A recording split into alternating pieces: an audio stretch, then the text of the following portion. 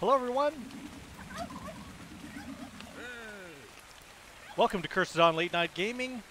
I just wanted to make a quick video to help people out a little bit. Um, I know that these stupid super turkeys, they're, re- they're look at that, 250. They're really hard to kill, and some people have they they basically nerf your tough dinos. And some people have been trying to find different strategy. I know some people have used it Breath, but actually I found Velonasaur is good for a number of reasons. Now if you get up on this rock, as you can see by the dead one there, you can shoot at things with your gun mode. They can't get to you, and you just walk, you just go like this and shoot them until they're dead. So that's really easy. But the best thing about them, here I'll show you.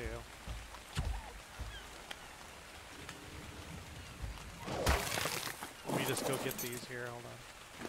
Get my wishbones. So the best thing about it is this.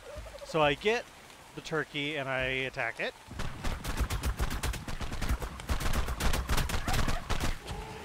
Now, you go into this mode.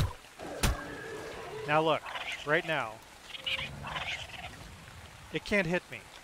It's standing there looking at me, it's not hitting me, and I can wait for my stam to regen, and then I can just go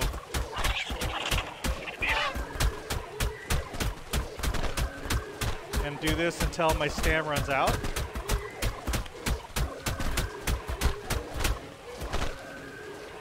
And then just sit here and wait for my stam to regen again. Okay, we're regen and do it again.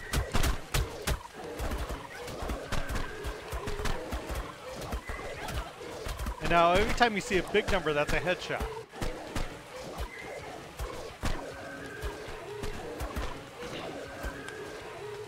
Okay, insufficient stamina, just wait.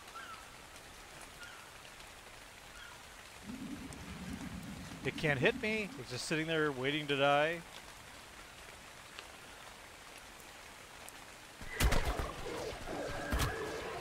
There, dead. Easy peasy. For some reason my, uh... Huh. For some reason he doesn't pick up the items. I don't know why. But, um... Now, admittedly, my Velonasaur is, uh... Is imprinted and everything, so... He's doing a lot of damage, but really, it's worth making one if you're going around collecting these, because I did just breed this. That's why I named it Giblet because it's. I think it. I think these are the event colors, but maybe not. But hey, it's a great tool to go around and get those turkeys. So I just wanted to um, kind of do a little heads up and let people know that there's an easier way. And I'll get this posted on YouTube as well, and uh, hopefully it'll help people out. So have a great day. Hey.